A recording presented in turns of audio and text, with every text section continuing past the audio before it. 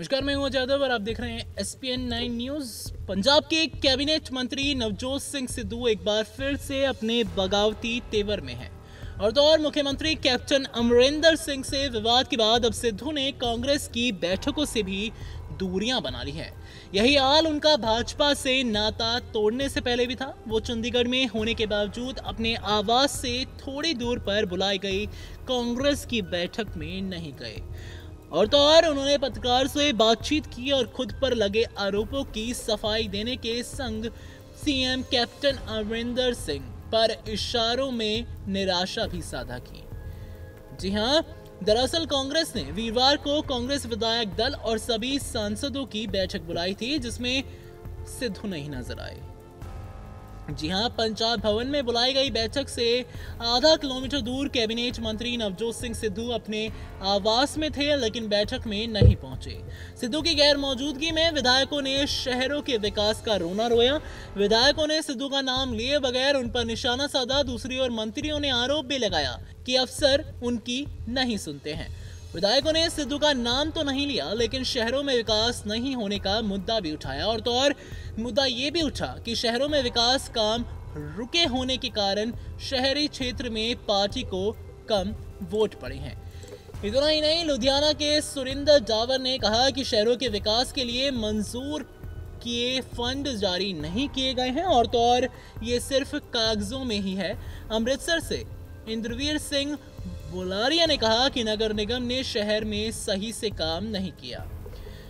आपको हम ये बता दें कि पंथक मुद्दों पर कांग्रेस के फायर ब्रांड मंत्री सुखजिंदर रंधावा ने तो मुख्यमंत्री से सीधा सवाल पूछ लिया कि बादलों को कब ठोकेंगे। आपको हम ये बताना चाहेंगे कि इसके अलावा सिद्धू की गैरहाजिरी भी बैठक में चर्चा का विषय रही। विधायकों ने उनके विभाग में कामकाज पर सवाल उठाते हुए उन पर ही निशाना साधा। सिद्धू की इस बैठक से गैर हाजिरी राजनीतिक गलियारों में भी चर्चा का विषय बन गई है। और तो और राजनीतिक जानकारों का यह भी कहना है कि सिद्धू साफ़ तौर पर बगावती मूड में नज़र आ रहे हैं। सिद्धू जिस तरीके से शेरो शायरी के ज़रिए अपने आक्रामक तेवर दिखा रहे हैं, उनसे उनके अगले सियासी कदम को लेकर कई तरह की चर्चाएँ चल रही हैं। इसको लेकर सिद्धू की दबाव की राजनीति से भी जोड़ा जा रहा है। कांग्रेस की बैठक से दूर रहे सिद्धू अपने आवास पर पत्रकारों से बातचीत करते रहे। वो लोकसभा चुनाव 2019 के परिणाम के बाद पहली बार खुलकर सामने आए। अभी तक वो सोशल मीडिया के ज़रिए ही अपनी उपस्थिति दर्ज करा रहे थे और अपने जुमलों और शेरो शायरी से अपने तेवर दिखा रहे थे। पत्रकारों से बातचीत में सिद्धू मुख्यमंत्री कैप्टन अरविंदर सिंह के आरोपों का उन्होंने जवाब दिया और साथ ही साथ उन्होंने अपने काम काज को लेकर भी बात की।